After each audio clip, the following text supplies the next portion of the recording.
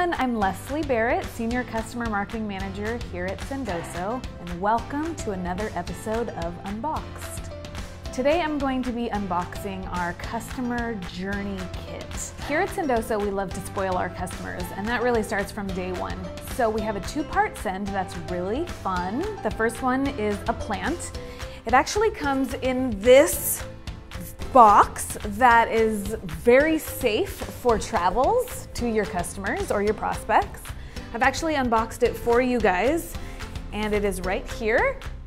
It is a beautiful peace lily. It's actually really low maintenance to take care of. So all you have to do is water it once a week and it will always stay fresh on someone's desk. We also send our customers this bright orange bubble mailer that's incredibly hard to miss once it lands on your desk. And inside is a welcome kit. It's actually called The Road to Success with Sendoso.